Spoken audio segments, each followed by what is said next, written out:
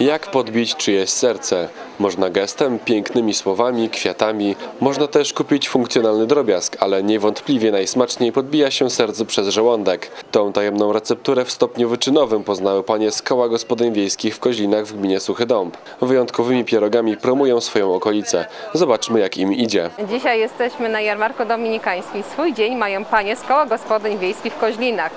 To już jest kolejny dzień, którym panie z gminy Suchy Dom demonstrują swoje kulinaria, czyli pierogi różne. Pierogi ruskie z kapustą z grzybami, z kapustą z mięsem. Pierogi to znany i sprawdzony przepis na smaczny i syty polski obiad. Delikatna przypieczona skórka kryje w sobie wyszukane nadzienie. Trzeba mieć nerwy ze stali, żeby oprzeć się takim pokusom. Jak widać niektórzy i słusznie ulegli aromatowi pierogów uwalnianemu na ulicy Tkackiej. chwalą i wracają jeszcze raz.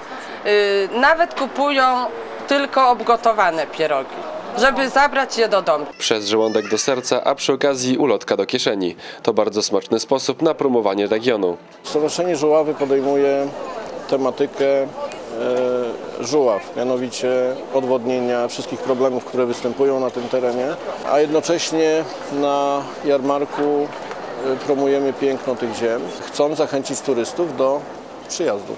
Pierogowy zakątek na pewno nie powstałby, gdyby nie wspólna ciężka praca wszystkich pań z gminy Suchy Dąb. Dziękujemy wszystkim paniom za współpracę, za pomoc w organizowaniu te, takiej mm, ilości pierogów, bo naprawdę jest to nie lada wysiłek, żeby taką ilość zrobić. Mamy bardzo zdolne panie, nie tylko z z koła gospodyń wiejskich w Koźlinach, bo kół gospodyń na terenie gminy mamy 8, czyli zawiązało się w każdym sołectwie. Pozostaje nam już tylko życzyć smacznego i zaprosić do smacznie wypromowanego regionu.